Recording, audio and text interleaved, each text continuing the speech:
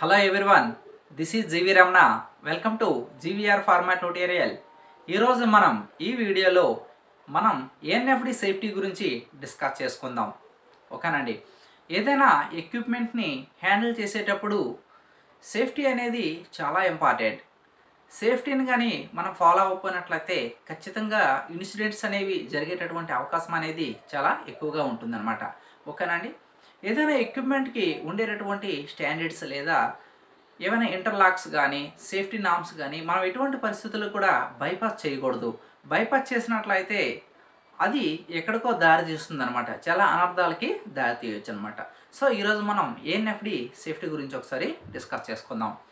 First of all ఏఎన్ఎఫ్డిని మన ఒక సైట్లో కొత్తగా మన బ్లాక్లో ఇన్స్టాల్ చేసాం. ఇన్స్టాల్ చేసిన తర్వాత దానికి ఫస్ట్ ఆఫ్ ఆల్ తీసుకోవాల్సినటువంటి ప్రికాషన్ ఏంటి అనేసి అంటే ఫస్ట్ ఆఫ్ ఆల్ దానికి డబుల్ బాడీ ఎర్తింగ్ అనేది అరేంజ్ చేసుకోవాలి. సింగిల్ బాడీ ఎర్తింగ్ని ఇప్పుడు కూడా మనం నమ్ముకోవద్దు. డబుల్ బాడీ ఎర్తింగ్ అనేది ఉండాలి. నెక్స్ట్ దాంతోపాటుగా ఆ ఏఎన్ఎఫ్డికి కనెక్ట్ అయినటువంటి ప్లాంజెస్ అన్నిటినీ కూడా మనం ఏమన్ ఏం చేయాలనేసి అంటే ఎర్త్ జంపర్స్తో కనెక్ట్ చేయాలన్నమాట. ఎందుకంటే ఒక ప్లాంజ్కి ఫర్ ఎగ్జాంపుల్ ఇవి రెండు ప్లాంజెస్. ఒకనండి ఒక లైన్లో ఉండే రెండు ప్లాంజెస్. ఈ రెండు ప్లాంజులు అనేవి ఈ విధంగా దగ్గరగా ఉన్నాయి. ఈ రెండింటికి మధ్య ఒక గ్యాస్ కట్ ఉంటుందన్నమాట. ఓకేనండి? ఎర్తింగ్ కంటిన్యూటీ కోసం మనం ఏం చేయాలనేసి అంటే జంప్ ఓవర్ని అరేంజ్ చేయాలి ప్లాంజ్కి ప్లాంజ్కి మధ్య. ఓకేనండి? నెక్స్ట్. సో ఇప్పుడు ఎక్విప్మెంట్ని ఇన్స్టాల్ చేసాం. డబుల్ బాడీ ఎర్తింగ్ని అరేంజ్ చేసాం. నెక్స్ట్ అదేవిధంగా దానికి ఎర్త్ జంపర్స్ని కూడా అరేంజ్ చేస్తాం. అరేంజ్ చేసిన తర్వాత నెక్స్ట్ మన ప్రాసెస్లోకి ఏదైనా ఎక్విప్మెంట్ మనం ప్రాసెస్లోకి యూజ్ చేయాలి. ఓకేనండి? ప్రాసెస్లోకి యూజ్ చేసేటప్పుడు ఇంకా దానికి ఎటువంటి అడిషనల్ ప్రికాషన్స్ ఇవ్వాలి అనేసి అనుకున్నట్లయితే ఇది ఒక ఏఎన్ఎఫ్డి అండి. ఓకేనండి? ఈ ఏఎన్ఎఫ్డి యొక్క డిజైనింగ్ అనేది ఈ విధంగా ఉంటుంది.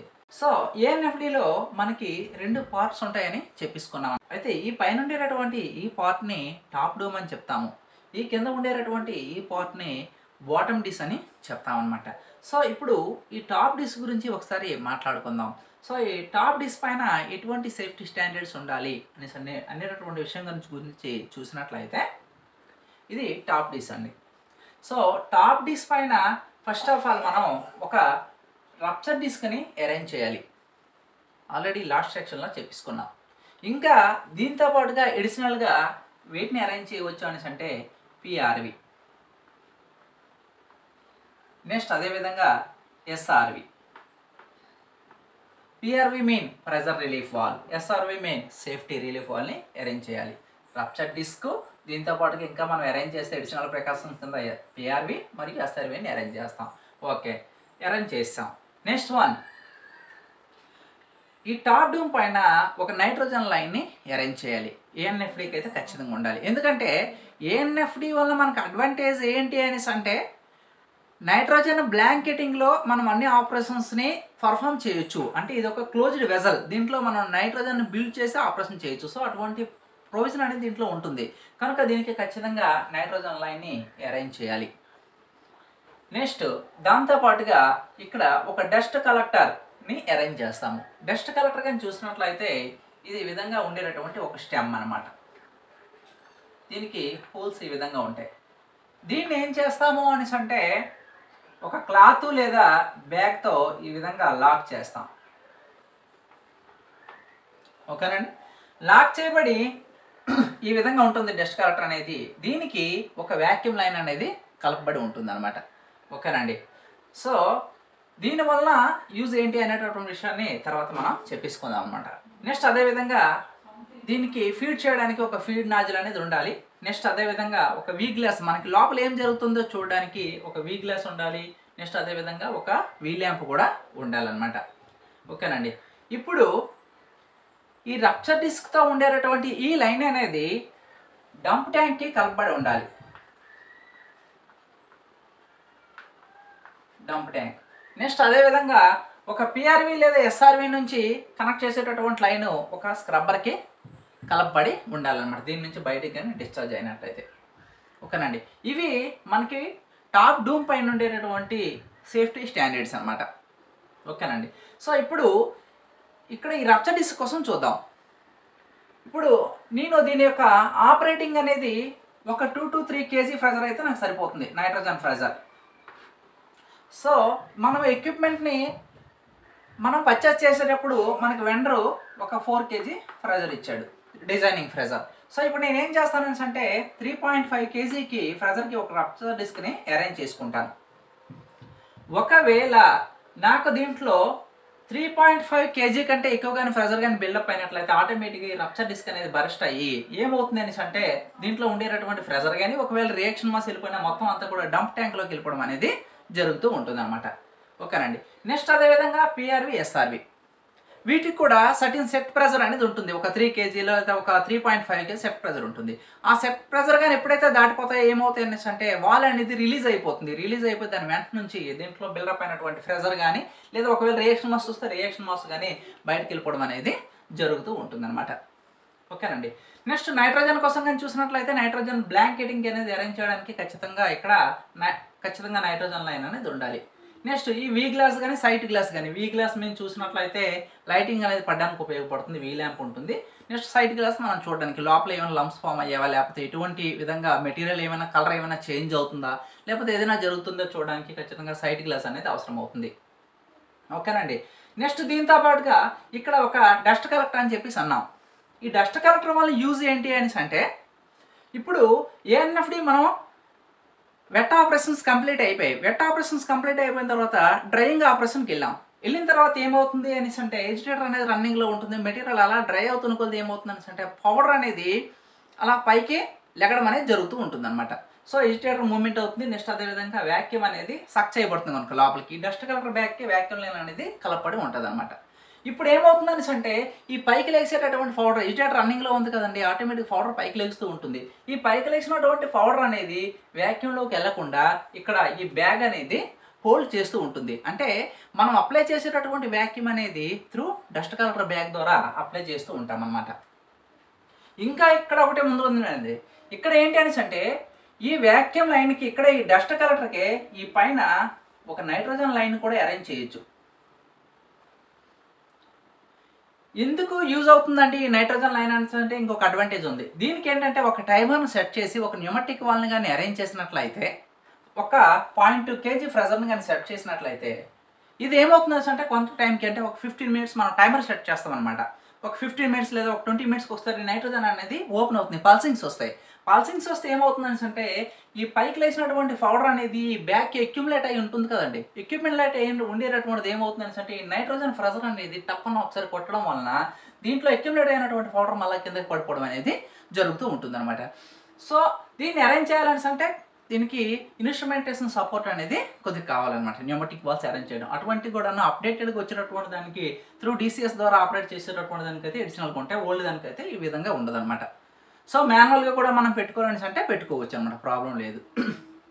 నెక్స్ట్ దీంతో పాటుగా పైన టాప్ డిస్లోనే ఒక కాంపౌండ్ గేజ్ కూడా ఉంటుంది. ఈ కాంపౌండ్ గేజ్ యొక్క యూజ్ ఏంటి అనేసి అంటే ఇక్కడ లోపల బిల్డప్ అయినటువంటి ఫ్రెజర్ కానీ లేదా మనం అప్లై చేసినటువంటి వ్యాక్యూమ్ కానీ ఇక్కడ ఈ కాంపౌండ్ గేజ్లో డిస్ప్లే వస్తుంది అనమాట అంటే సో మనం ఎంతవరకు ఫ్రెజర్ అప్లై చేస్తున్నాం దాని రేంజ్ ఏమైనా దాటిపోతున్నామా లేదా అనేటటువంటి విషయం ఈ కాంపౌండ్ గేజ్లో మనం చూసుకోవచ్చు అనమాట ఓకేనండి ఇది టాప్ డిస్లో ఉండే టాప్ డూమ్లో ఉండేటటువంటి సేఫ్టీ స్టాండర్డ్స్. నెక్స్ట్ అదేవిధంగా టాప్ డిస్లోనే దీనికి ఇక్కడ ఒక జాకెట్ ఉంటుంది అనేసి లాస్ట్ సెక్షన్లోనే చెప్పేసుకున్నాం అనమాట ఓకేనండి ఈ జాకెట్కి కూడా ఏమవుతుంది అనేసి అంటే యూటిలిటీ అప్లై చేస్తాం. హాట్ వాటర్ని ఎప్పుడు అప్లై చేస్తాం. హాట్ వాటర్ కూలింగ్ పర్పస్ అయితే హాట్ వాటర్ని అప్లై చేస్తాం. సో ఇక్కడ యూటిలిటీ ఇన్లెట్లోనే మనకి ఏమవుతుంది అంటే ఒక పిఆర్వి ఉంటుంది అనమాట సో ఈ పిఆర్వీలో ఏమవుతుంది? దీనికి కూడా ఒక సర్టిన్ సెట్ ప్రెజర్ ఉంటుంది అనమాట ఎంత కావాలంటే అంత మనం సెట్ చేసుకోవచ్చు. అంతకంటే ఎక్కువ ప్రెజర్ వస్తే ఏమవుతుందంటే అంటే పిఆర్వి పైకి వాల్ అనేది డిశ్చార్జ్ అయ్యి బయటికి వాటర్ అనేది వెళ్ళిపోవడం జరుగుతూ ఉంటుంది అనమాట ఓకేనండి ఈ జాకెట్లో కూడా అటువంటి ఒక సేఫ్టీ నామ్స్ ఒక స్టాండర్డ్ అనేది ఉంటూ ఉంటుంది అనమాట నెక్స్ట్ దీంతో పాటుగా ఈ పైన ఈ టాప్ డి డోమ్లోనే మనకు ఒకటి కనిపిస్తుంది. సాఫ్ట్ దానికి ఒక ఎజిటేటర్ టెస్ట్ టైప్లో ఉండేటటువంటి ఎజిటేటర్ అనమాట సో దీని యొక్క ఆర్పిఎం కూడా మ్యాక్సిమం ఎంత మెయింటైన్ చేస్తారు అనేసి అంటే టెన్ టు ట్వంటీ మెయింటైన్ చేస్తారు. ఎందుకంటే RPM mean revolution per minute అంటే ఒక నిమిషానికి తిరిగేటటువంటి టైం అనమాట టెన్ టు ట్వంటీ టైం తిరుగుతుంది ఒక నిమిషానికి. ఎందుకు ఇంతే మెయింటైన్ చేస్తాం? ఇంతకంటే ఎక్కువ మెయింటైన్ చేయకూడదా అని అంటే ఇక్కడ అంతకంటే ఎక్కువ మెయింటైన్ చేయవలసినటువంటి అవసరం అనేది మనకు ఉండదు. ఓకేనండి. నెక్స్ట్ ఇక్కడ ఏంటంటే అవుతుంది అనేసి అంటే ఈ పౌడర్కి వచ్చినప్పటికల్లా మనకి సాల్వెంట్ కంటే పౌడర్ చాలా డేంజర్ అని చెప్తామన్నమాట. ఓకేనండి? దీనికి మినిమం ఎగ్నీషియన్ టెంపరేచర్ అనేది చాలా తక్కువగా ఉంటుంది. జౌల్స్లో ఉంటుంది. సో సాల్వెంట్ కంటే కూడా మెటీరియల్ ఇంకా వేగంగా ఫైర్ అవ్వడానికి ఛాన్సెస్ అనేది ఉంటుంది. కనుక ఆర్పిఎం అనేది ఇక్కడ ఎప్పుడు కూడాను చాలా తక్కువ లోలోనే మెయింటైన్ చేస్తారు. టెన్ టు ట్వంటీ ఉండడం అనేది జరుగుతూ ఉంటుంది. అదైతే దీనికి సరిపోతూ ఉంటుంది. ఓకే ఇవి టాప్ డిస్లో ఉండేటటువంటి సేఫ్టీ స్టాండర్డ్స్ నెక్స్ట్ అదేవిధంగా ఈ బాటమ్ డిస్ వరకు ఇప్పుడు వద్దాం. ఈ బాటమ్ డిస్క్ వచ్చినప్పటికి ఇక్కడ ఏం జరుగుతుంది అనేసి అంటే మెయిన్గా ఇంటర్లాక్స్ కానీ చూసినట్లయితే ఈ బాటమ్ డిస్ ఛార్జ్లో సారీ బాటమ్ డిస్క్లో ఇంటర్లాక్స్ కానీ చూసినట్లయితే బాటమ్ డిస్ అనేది టాప్ డిస్క్కి లాక్ అయి ఉండాలి. ఓకేనండి?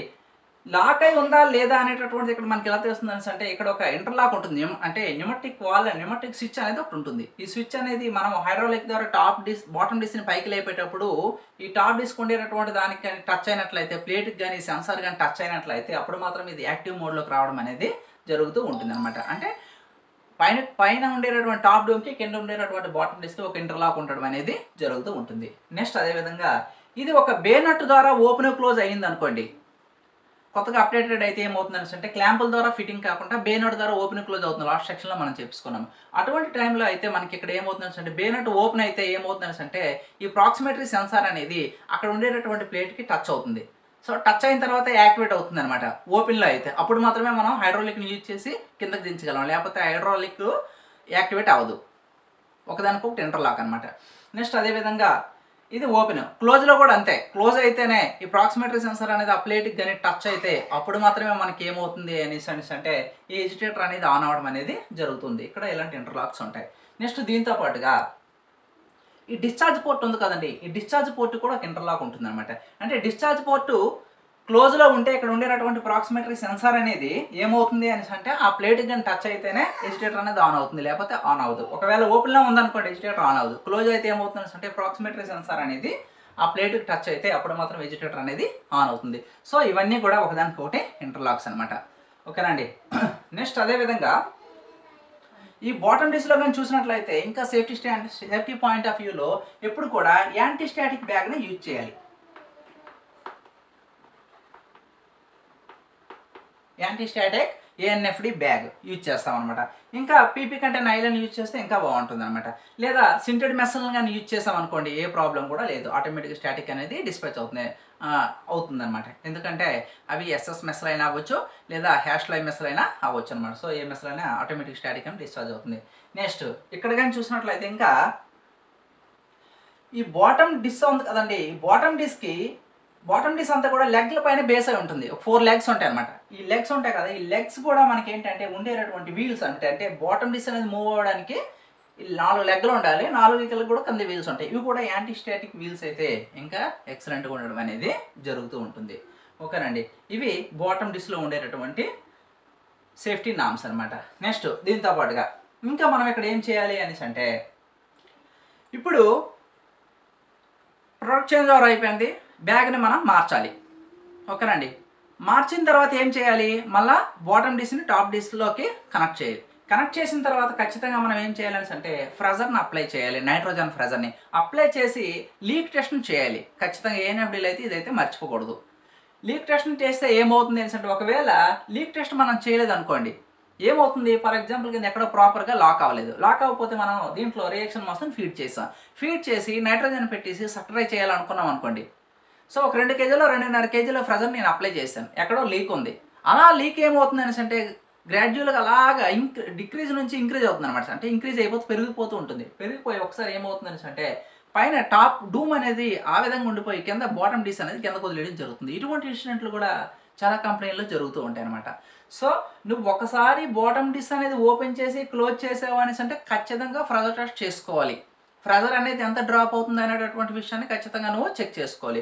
నెక్స్ట్ ఈ విధంగా చేసినట్లయితే ఇంకొక అడ్వాంటేజ్ కూడా ఉంటుంది. ఏంటంటే నైట్రోజన్ అంతా నువ్వు ఫ్రెజర్ టెస్ట్ చేసినట్లయితే దీంట్లో ఉండేటటువంటి ఆక్సిజన్ అంతా కూడా బయటికి పోతుంది. సో ఆక్సిజన్ ఎప్పుడైతే ఉండదో అప్పుడు మనకు ఫైర్ అయ్యేటటువంటి ఛాన్సెస్ అనేవి ఉండవు.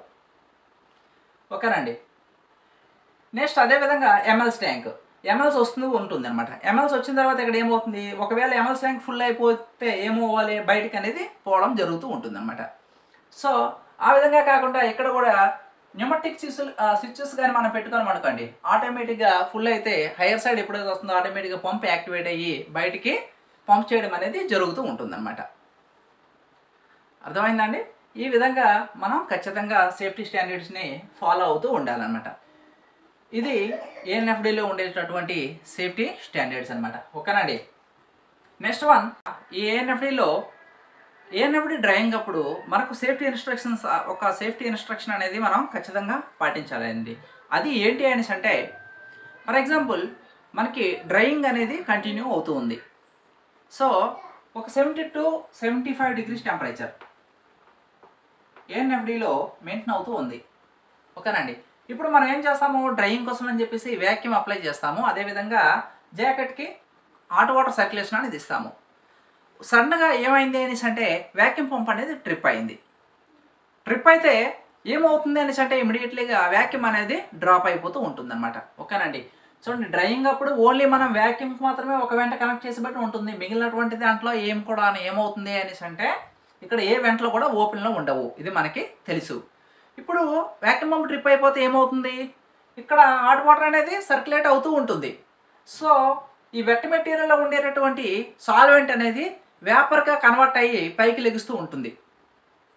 ఓకే అప్పుడు ఏమవుతుంది? కొంత టెంపర్ అదే కొంత ప్రెజర్ అనేది దాటిపోయిన తర్వాత ఈ రప్చర్ డిస్క్ అనేది బర్స్ట్ అయిపోయి బయటకు వెళ్ళిపోవడం కానీ లేదా ఎస్ఆర్వి కానీ బీఆర్వి కానీ పైకి లేసిపోయి ప్రెజర్ అనేది బయట డిశ్చార్జ్ అవ్వడం అనేది జరుగుతూ ఉంటుంది. సో వాటికంటే ముందుగా మనం ఏం చేయాలి అనేసి అంటే సడన్గా వ్యాక్యూమ్ పంప్ ట్రిప్ అయిపోయింది. సో వ్యాక్యూమ్ ఎప్పుడైతే డ్రాప్ అవుతుందో ఫస్ట్ ఆఫ్ ఆల్ మనం చేయవలసినటువంటిది ఏంటి అనేసి అంటే ఇమీడియట్లీగా హాట్ వాటర్ సర్క్యులేషన్ని ఆఫ్ చేయాలి. నెక్స్ట్ అదేవిధంగా ఎజిటేటర్ని బంద్ చేయాలి. బంద్ చేసి వెంటనే జనరల్ వెంటనే రిలీజ్ చేసి పెట్టుకోవాలన్నమాట. ఓకేనండి? ఇది మాత్రం మనం మర్చిపోకుండా చేయవలసినటువంటి విషయం. ఓకే? నెక్స్ట్ అదేవిధంగా రియాక్షన్ మాస్ని ఫీడ్ చేసేటప్పుడు కూడా చూసుకోండి. రియాక్షన్ మాస్ని ఫీడ్ చేసేటప్పుడు కూడా ఖచ్చితంగా వెంటనే జనరల్ వెంట ఓపెన్లో ఉందా లేదా అనేటటువంటి విషయం చూసుకోండి. నెక్స్ట్ అదేవిధంగా నైట్రోజన్ బ్లాంకెటింగ్ కూడా అప్లై చేయండి. లాస్ట్ మనకి ఏంటంటే లాస్ట్ వీడియో అయిన తర్వాత మనకి కొంతమంది కామెంట్స్లో అడగడం జరిగిందనమాట ఏంటంటే అంటే డస్ట్ కలెక్టర్ బ్యాగ్ వల్ల యూజ్ ఏంటంటే అంటే ఇంకేం లేదండి. లోపల ఉండేటటువంటి పౌడర్ అనేది ఫ్లై అయ్యేటప్పుడు బయటికి పోకుండా ఉంటుంది. నెక్స్ట్ అదేవిధంగా మళ్ళీ మనకి మరొక కామెంట్లు అడిగినటువంటి క్వశ్చన్ ఏంటంటే అంటే ఈ అసాకారం ఉండేటటువంటి సాఫ్ట్ ఉంది కదా ఎజిటేటర్. ఎజిటేటర్ కిన్ను దీనికి ఈ బ్యాగ్ లేదా సింటెడ్ మెస్కి మధ్య ఎంత గ్యాప్ ఉంటుంది అనేసి అంటే టెన్ టు ట్వంటీ ఎంఎం ఉంటుందండి. అది దేనికి అనేసి అంటే ఒక టూ ఫిఫ్టీ లీటర్స్ ఏఎన్ఎఫ్డి అయితే. అదే ఒక వన్ కేఎల్ ఏఎన్ఎఫ్డి అనుకోండి. దగ్గర దగ్గరగా thirty to forty MM gap ఉండడం అనేది జరుగుతుంది. ఇవి కూడా క్యాలిక్యులేషన్స్ ఉంటాయని ఈ క్యాలిక్యులేషన్స్ని అంటే సైజుని బట్టి ఇవి క్యాలిక్యులేట్ చేసి ఎంత గ్యాప్ ఉండాలనేది డిసైడ్ చేస్తారు. ఎక్కడైతే ఎంత గ్యాప్ ఉంటుందో ఇక్కడ ఉండేటటువంటి ఈ ఎజిటేటర్ ఉంటుంది కదండి. ఈ ఎజిటేటర్ కింద నెక్స్ట్ అదేవిధంగా ఇక్కడ ఉండేటటువంటి ఈ సైడ్ డూమ్కి మధ్య కూడా అంతే గ్యాప్ ఉంటుంది అనమాట ఓకేనండి? నెక్స్ట్ అదేవిధంగా ఒక ఫైవ్ కేఎల్ అనుకోండి. ఒక ఫిఫ్టీ టు హండ్రెడ్ ఎంఎం ఉంటుంది.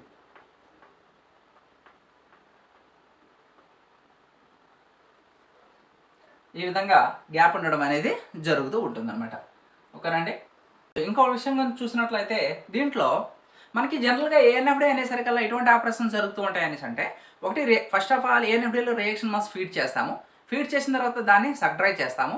నెక్స్ట్ అదేవిధంగా దాంట్లో వాషింగ్ ఫీడ్ చేస్తాము. స్టిర్ చేస్తాము. మళ్ళీ సక్డ్రై చేస్తాము. సక్డ్రై చేసిన తర్వాత డ్రైయింగ్కి వెళ్ళడం అనేది జరుగుతూ ఉంటుంది. డ్రైయింగ్కి వెళ్ళిపోయిన తర్వాత డ్రైయింగ్ కంప్లీట్ అయిపోయిన తర్వాత నెక్స్ట్ ఆపరేషన్ ఏంటంటే కూలింగ్ కూలింగ్ అయిపోయిన తర్వాత అన్లోడింగ్ ఓకేనండి సో ఇప్పుడు కూడా మనకి జనరల్గా ఏం చేస్తారు అనేసి అంటే ఇప్పుడు డ్రైయింగ్ అయిపోయింది కొంత. టెంపరేచర్ అనేది మెయింటైన్ అయిపోయింది. మనకి కంప్లీట్ శాంపుల్ కంప్లీట్ అయిపోయింది. అప్పుడు మనం ఏం చేయాలనేసి అంటే నెక్స్ట్ సారీ డ్రైయింగ్ కంప్లీట్ అయిపోయింది. కంప్లీట్ అయిపోయిన తర్వాత మనం ఏం చేయాలనేసి అంటే శాంపిల్ తీయాలి. శాంపిల్ తీయాలని అంటే ఖచ్చితంగా కూలింగ్ ఇచ్చే శాంపిల్ తీయండి. కూలింగ్ ఇవ్వకుండా అయితే శాంపిల్ తీయొద్దు. ఓకేనండి. సాల్వెంట్ కంటే పౌడర్ అనేది చాలా డేంజర్ అనమాట ఓకేనండి. కూలింగ్ ఇచ్చిన తర్వాత మాత్రమే శాంపిల్ తీయండి. ఎటువంటి పరిస్థితుల్లో కూడా డైరెక్ట్గా తీయొద్దు. నెక్స్ట్ వన్ ఇంకోటి. ఇదే ఒక ఏఎన్ఎఫ్ అయ్యింది అనుకోండి. ఏఎన్ఎఫ్ అయితే మనం ఏం చేస్తామనేసి అంటే ఏఎన్ఎఫ్లో డ్రైయింగ్ ఆప్షన్ అనేది ఉండదు. అప్పుడు ఏం చేస్తాం మనము? ఈ డిశ్చార్జ్ పోర్ట్ నుంచి ఖచ్చితంగా మనం వెట్ మెటీరియల్ అన్లోడ్ చేయాలి. వెట్ మెటీరియల్లో అనేది అన్లోడ్ చేసేటప్పుడు ఖచ్చితంగా మనం పీపీఈ ఫాలో అవ్వాలి. PPE mean personal protective equipments. ఇవన్నీ కూడా మనకు తెలిసినటువంటివే. సో నెక్స్ట్ ఇక్కడ కార్బైల్స్లోకి మెటీరియల్ అన్లోడ్ చేసేటప్పుడు మ్యాక్సిమంగా ఏం చేస్తారని అంటే యాంటీ స్టాటిక్ కార్బైల్స్ని ప్రిఫర్ చేయండి. హెచ్డిపి కంటైనర్స్ని ప్రిఫర్ చేయొద్దు. యాంటీ స్టాటిక్ ఇస్ బెస్ట్ అనమాట నెక్స్ట్ దీంట్లో కూడా ఎర్త్ రాడ్ని అరేంజ్ చేయండి. ఎర్థింగ్ అనేది ప్రాపర్గా ఉండాలి. ఓకేనండి ప్రాపర్గా పెట్టిన తర్వాత మాత్రమే అన్లోడ్ చేయండి. ఇవి మనం ఏఎన్ఎఫ్ఐ ఆపరేటింగ్ చేసేటప్పుడు మనం ఖచ్చితంగా పాటించవలసినటువంటి సేఫ్టీ స్టాండర్డ్స్ అండి. ఓకేనండి? మీకు ఈ వీడియో అంటే ఏఎన్ఎఫ్డి పైన ఏమైనా డౌట్లు అటువంటివి ఏమైనా ఉన్నట్లయితే మీరు నా కామెంట్ బాక్స్లో తెలియజేయండి. ఫ్రెండ్స్ ఫస్ట్ టైం కానీ మీరు కానీ మన ఛానల్ కానీ చూసినట్లయితే మన ఛానల్ని సబ్స్క్రైబ్ చేసుకోండి. మన వీడియోని ఖచ్చితంగా లైక్ చేయండి. మన వీడియోస్ అనేవి యూస్ఫుల్ అనుకున్నట్లయితే మీ ఫ్రెండ్స్కి ఫార్వర్డ్ చేయండి. ఓకేనండి మీకు ఇంకా ఏదైనా యూస్ఫుల్ వీడియోస్ కావాలి అనుకున్నట్లయితే మీరు నాకు కామెంట్ బాక్స్లో తెలియజేయండి. మీరు అడిగేటటువంటి ప్రతి కామెంట్ బాక్స్లో అడిగేటటువంటి ప్రతి వీడియో కూడా నేను చేస్తాను. దానికి కొంత టైం అనేది పడుతూ ఉంటుందండి. ఓకేనండి థ్యాంక్స్ ఫర్ వాచింగ్.